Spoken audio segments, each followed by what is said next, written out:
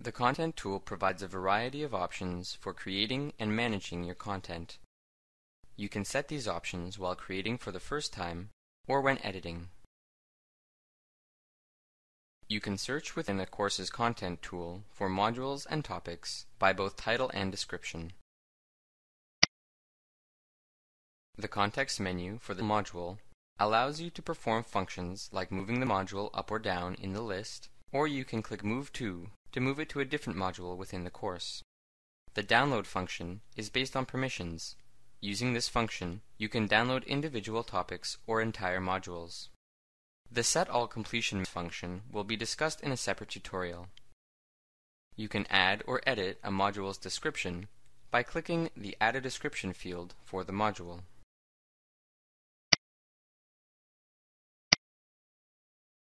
You can also change the status of a module from draft to published from the drop-down menu to the right of the module. From here you can change a previously published module to draft state, and vice versa.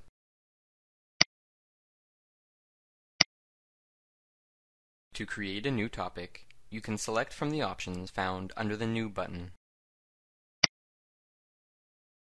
If you wish to add an existing course object, click on Add Existing Activities and select one of the items from the drop-down menu. Within a module, click the Bulk Edit button to enable editing of basic properties of topics such as titles, descriptions, and restrictions. The context menu for a topic is similar to that for a module. You can edit properties, download the topic content depending on permissions, move or delete the topic. By clicking Edit in Place from the Topic Context menu, you can change the topic title, add or edit a topic description, and add or edit restrictions.